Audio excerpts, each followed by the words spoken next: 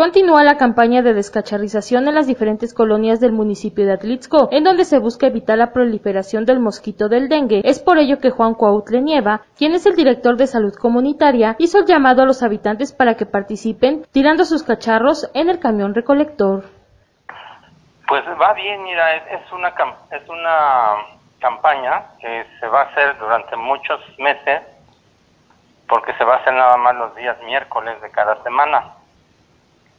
La, la finalidad de, la descacharrización es que se tiene que eliminar los, los depósitos que puedan ser criadero de, de moscos.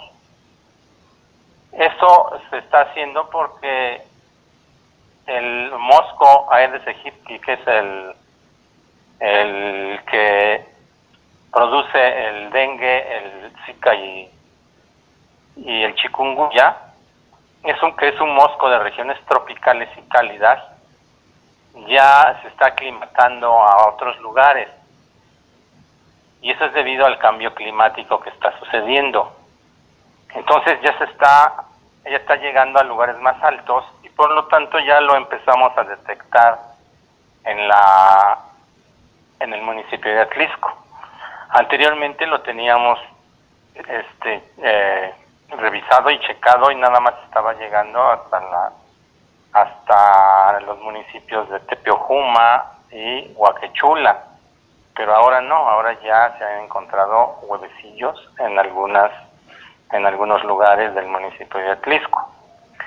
Mencionó que la respuesta por parte de la ciudadanía ha sido favorable, debido a que han tirado todo tipo de cacharros, como televisores y botes que puedan almacenar agua y provocar la presencia del mosquito que produce el dengue. Bueno, es, es, es variable, ¿no? Porque este, hay gentes que pues venden sus cacharros, hay gentes que lo, que lo sacan, porque sobre todo deben ser cosas, recipientes que, que guarden agua la idea es que sean nada más ese tipo de, utensilios, porque eh, hay lugares donde dan hasta televisiones viejas y eso no, eso no, sillones viejos, eso no es parte de, de la descacharrización.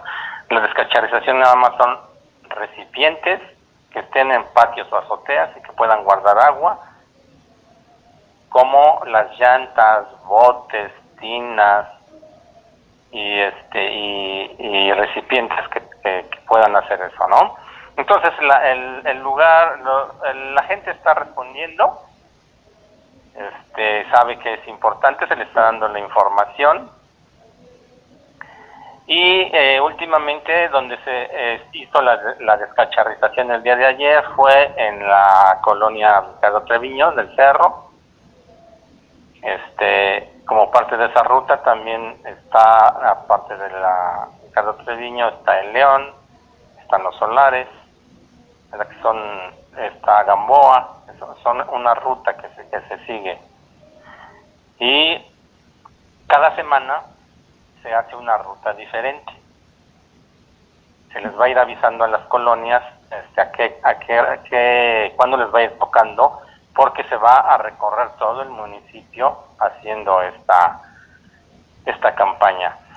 Finalmente comentó que también se están llevando a cabo nebulizaciones o fumigaciones en las colonias del municipio, debido a que se registró la presencia de huevecillos. Asimismo, ayudan a matar otro tipo de insectos. También eh, en la, la, semana pasada se estuvo haciendo nebulizaciones en la colonia Altavista, porque ahí se detectaron altos índices de huevecillos del mosco cerca de la escuela Miguel Hidalgo, porque por ahí pasó una sequía. Y entonces los lugares donde hay agua, este, pues es donde el mosco más fácilmente puede reproducirse.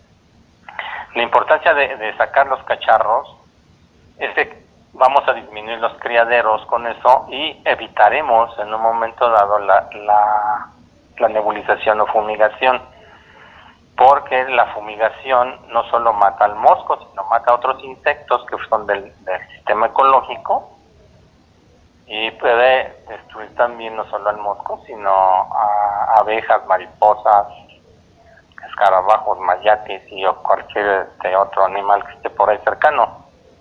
Eso es lo que debemos evitar. Por eso la, la descacharrización toma una, una importancia.